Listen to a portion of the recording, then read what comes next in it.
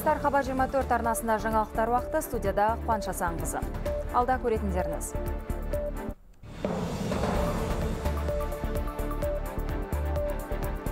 Шаруаның шаруасы шатқаяқтап тұр. Елді көкөніспен қамтып отырған солтүстік қазақстандық кәсіпкер тығырыққа тірелді. Себебін тілшіміз айтсын. Вакцина жетпей жатыр. Әлемде маймыл шешегін жұқтырған науқастардың саны 18 мыңға жетті. Әлем пандемиядан еш алмай отыр. Биыл жаһандық экономиканың даму қарқыны баяулауы мүмкін дейді сарапшылар. Энергетика министрлігі кеше Атырауда мұнай өңдеу зауытының неліктен тоқтап қалғанын айтты. Өңірдегі ауа райының қолайсыздығына байланысты екі әуе электр желісі бір уақытта жыратылған. Соның салдарынан Қазақстанның батысындағы станциялар мен зауыттар жарықсыз қалды. Мұнай өңдеу зауытында электр желілерін іске қосу тетіктері өршіп қалды. Ал Каспий құбыр консорциумы нысандарын энергиямен жабдықтау шектелді. Қарабатан Utility Solutions жүйеден ажыратылды, сондықтан электр станциясы генерацияны нөлге дейін түсірді. Қазір мамандар технологиялық ақауларды жою бойынша жұмыста жүргізуде. Дүниежүзілік денсаулық сақтау ұйымы әлемнің 78 елінде маймыл шешегін жұқтырған науқастардың саны 18 мыңға жеткенін хабарлайды. Олардың 70% Европада, 20% Америкада тіркелген. 5 адам көз жұмды. Марқұмдардың барлығы Африка елдерінің тұрғыны. Ал ауруы асқынған 10% науқас ауруханада ем қабылдады. Біріккен ұлттар ұйымының агенттігі ауру жұқтыру қаупі жоғары адамдар мен медицина қызметкерлері шұғыл дертке қарсы вакцина қабылдау керек дегенді алға тартады. Тедрос Гебрейесустың айтуынша әлемде мақұлданған 16 миллион доза вакцина бар, алайда оның қолданысқа ену үшін бірнеше ай уақыт қажет.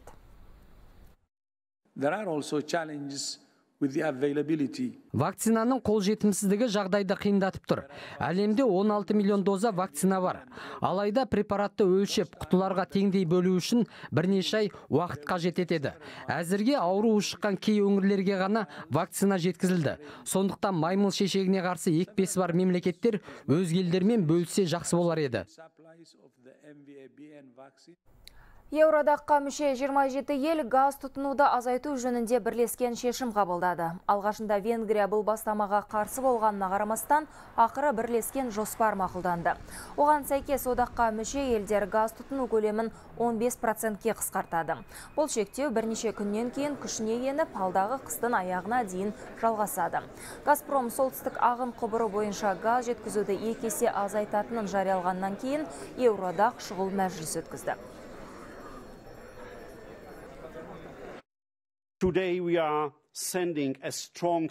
Бүгінгі шешіміздің арқасында алдағы қыста газ тапшылығы немесе бағалардың шарықтауы секілді қиындықтардан аман қаламыз. Газды дәл қазір үнемдей бастаймыз және ахуал нашарлаған жағдайға бірлескен іс қимыл жоспарымыз бар. Алдын ала сұранысты азайта бастаудың арқасында азаматтарымыз бен бизнеске тигізетін кері әсерін мүмкіндігінше азайта аламыз. Украина Евродаққа электр энергиясы экспортын ұлғайтады. Бұл туралы президент Владимир Зеленский мәлімдеді. Оның айтуынша Украина Европаны Ресейдің энергетикалық қыспағынан құтқармақ. Осылайша Киев Европалық одаққа жеткізілетін ресейлік газдың көп бөлігін ауыстыруға көмектеседі готуємось до збільшення нашого експорту електрики. Біз Еуроодақ тұтынушыларына электр энергиясы экспортын ұлғайтуға дайындалып жатырмыз. Соғысқа қарамастан өте қысқа мерзім ішінде еліміздің энергия жүйесін Еуропаның бүкіл жүйесіне қосалдық. Энергия экспорты бізге пайда табуға ғана мүмкіндік беріп қоймайды. Ол батыс елдерінің Ресейдің энергетикалық қыспағына қарсы тұруына көмектеседі. Стамбулда Украина астығын қауіпсіз тасымалдаумен айналысатын үйлестіру орталық ашылды. Ол Түркияның ұлттық қорғаныс университетінің аумағында орналасқан. Орталықта түрік, Украина және Ресей өкілдермен қатар біріккен ұлттар ұйымының дипломаттары жұмыс істейді. Айта кеткен жөн, өткен аптада Стамбулда Украина кемежайларында жиналған астықты тасымалдау туралы келісімге қол қойылды. Қолда бар мәлімет бойынша мұнда 20 миллион тоннаға жуық астық экспортталмай тұр. Өйткені Киев пен Мәскеу оны өзге елдерге тасымалдау бойынша келісе алмаған. Стамбулда өткен кездесуге Украина мен Ресей делегацияларынан бөлек Түркия президенті мен біріккен ұлттар ұйымының бас хатшысы да қатысқан еді. Германияда мыңдаған әуе рейс сапарға шыққан жоқ. Бұған Европадағы ең ірі әуе компаниялардың бірі Люфтганза қызметкерлерінің ереуілі себеп болды. Арасында авиатехниктер, автобус жүргізушілері мен жүк тасымалдаушылары бар мыңдаған адам міндеттерін орындаудан бас тартты. Олар жалақысын 9,5%ке көтеруді талап етіп отыр. Осының кесірінен мыңдаған жолаушы діттеген жеріне жете алған жоқ. Мұның бәрі саяхаттар қызып тұрған жазғы демалыс маусымында болып отыр. Франкфурттен Алматыға баруға тиіс әуе рейсте жолынан қалды. Құрамына 19 мемлекет кіретін евро аймақ экономикасы биыл рецессияға ұшырайды. Goldman Sachs инвестициялық банкінің мамандары осындай болжам жасап отыр. Оған энергия тасымалдауға қатысты қиындықтар мен пандемиядан кейінгі ахуал себеп. Сарапшылар Италиядағы саяси жағдайда кесірін тигізгенін айтады. Жақында бұл елде премьер-министр отставкаға кететінін мәлімдеген еді. Қазір Европаның көп елін қымбатшылық қысып тұр. Бірнеше мемлекетте инфляция рекордтық көрсеткішке жеткен. Солардың қатарында Германия, Франция, Эстония, Грекия бар. Халықаралық валюта қоры таяудағы екі жылға арналған жаһандық экономиканың даму жөніндегі болжамды төмендетті. Оған инфляцияның өсуі және орталық банктердің ақша кредит саясатын күшейтуі себеп. Тақырыпты Скер Ньюс айдарында Ғазиза Мұхамеджанова жалғастырады. Рахмет Қуаныш халықаралық валюта қорының сарапшылары келесі жылы экономикада жаңа жаһандық құлдырау болуы мүмкін деген пікір айтты. Ал Қазақстанға қатысты болжам қандай, ол туралы сәлден соң айтып беремін армысыздар.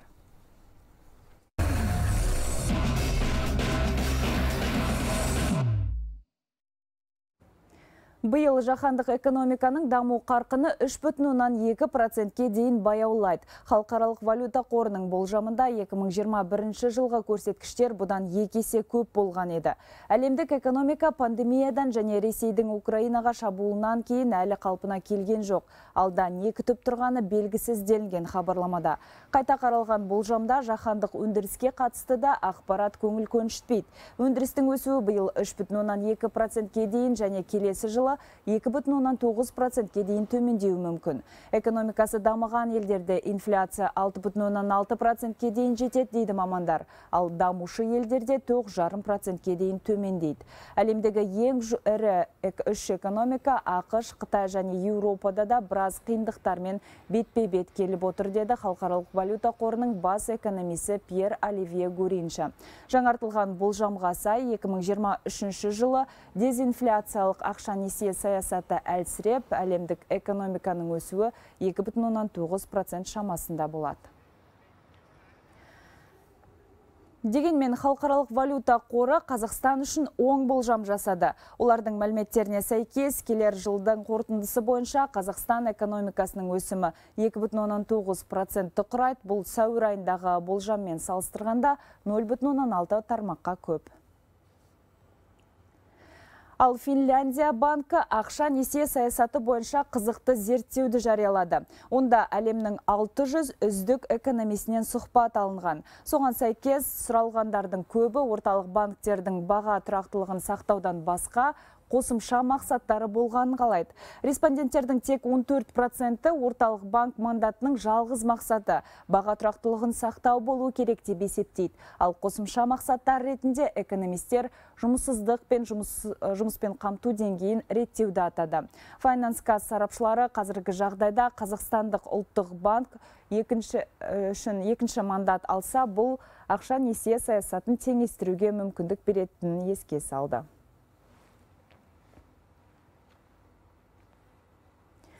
Ұялы байланыс қызметі қымбаттайды. Танымал байланыс операторлары тамыз айында кейбір тарифтердің бағасын көтереді. Курсиев медиа ақпараттық порталының хабарлауынша ұялы байланыс қызметтерін көрсететін ережелерге сәйкес оператор базалық тарифтік жоспарды жылына бір рет өзгерте алады. Қалған коммерциялық тарифтерді олар дербес қалыптастырады. Алайда тарифтердің құны мен көлемі өзгерген жағдайда оператор абонентке 30 күн бұрын ескертуге міндетті. Мобильді байланыс пен интернет қызметтерін қоса алғанда енді кейбір тарифтер бірден 37 процентке қымбаттауы мүмкін. Осылайша 1890 теңгенің тарифі енді 2,5 мың деңгейге дейін жетеді. Компания өкілдері мұны былай деп түсіндірді. Қазір фото мен видеолардың сапасы артты нәтижесінде тұтынылатын интернет трафик көбірек. Операторлардың мәліметінше трафикті тұтыну 26 процентке ұлғайды. Сондықтан тарифтердің құны да өседі. Сондай ақ қызмет көрсететін компаниялар қазақстандықтар италия мен бельгия тұрғындарына қарағанда мобильді трафикті көп тұтынатынын алға тартты. Ал ұлттық статистика бюросы жариялаған ақпаратқа сәйкес өткен жылы Қазақстандағы байланыс қызметтері нарығының 40 интернеттің үлесінде болған. Төрттен бірі ұялы байланыс қызметтеріне тиесілі. Нарық ойыншылары кірістің 20 басқа телекоммуникациялық қызметтерден алды. Бюроның мәліметіне сәйкес 2022 жылдың бірінші тоқсанында Қазақстандық байланыс операторлары 253 миллиард теңге пайда тапқан. Мендегі ақпарат легі осымен аяқталды. Аман сау болыңыздар.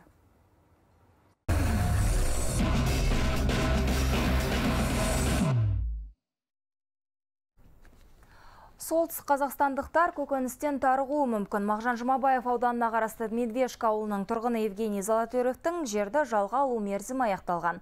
Ал оны заң бойынша ұзарту мүмкін болмай тұр. Жер кодексіне енгізілген өзгерістерге байланысты енді бір адамға тек бір гектар ғана жер үлестіріледі. Тут по краю везде мусор везут, э, бутылки, банки, склянки, все подряд. Тут было все в шифере, в кирпичах, в бутылках, тут еще много-много стекол, и кирпичи он до сих пор достаем. Росла конопля, потом полынь. Бір кездері жарамсыз болып қалған бақ 5 жылдан соң қайта жайқалды. Евгений Золотарев ол үшін қаладан туған ауылына арнайы көшіп барған. Солтүстіктің климатын ескерген азамат істің көзін тапты. Көрші елдердегі әріптестермен тәжірибе алмасып, көкөністерін тамшылатып суаруға көшкен к знакомым ездил в Оренбург, они там орынборға барып тың технологиялармен таныстым. дәнді еккен соң оны арнайы пленкамен жауып тастаймыз. Мәселен далада 10 градус болса ал оның тамыры 25-30 градуста болады. Нәтижесінде 40 қабат екі шаптаға тез піседі. Евгений 5 гектар алқапқа 40 қабақ еккен. Бұдан бөлек картоп, бұрыш, баклажан және қарбыз да бар. Бірақ отбасылық бизнес құрдымға кеткелі тұр. Биыл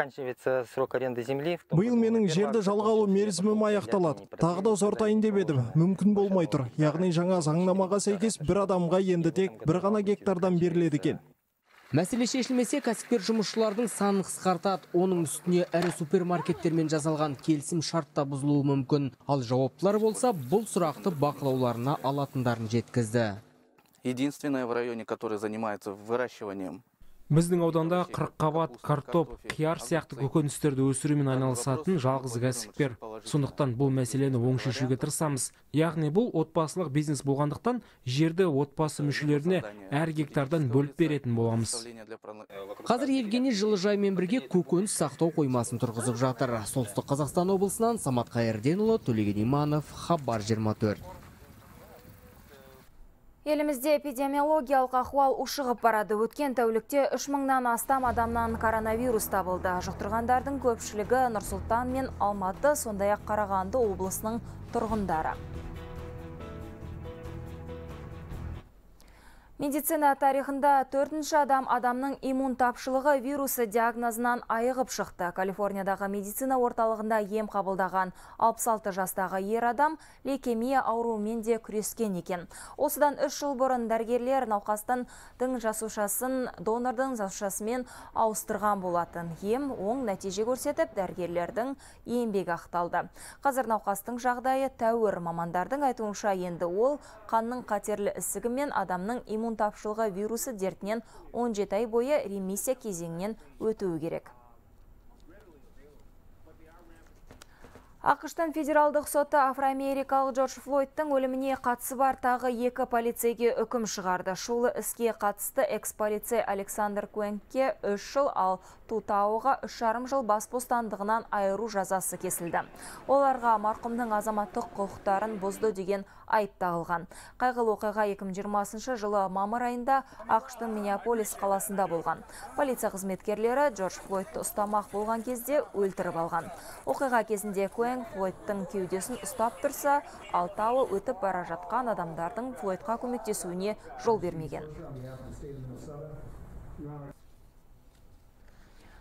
Анголаның солтүстік шығысында салмағы 170 карат болатын алқызыл алмаз табылды. Бұл әлемде соңғы 300 жылда кездескен ең ірі алқызыл алмаз болғалы тұр. Асыл тас осы елдегі Лула кеңінен алынған. Оның нақты салмағы қырлап тегістеген соң белгілі болмақ. Бұл осы кеніштен табылған салмағы 100 караттан асатын 5 алмаз.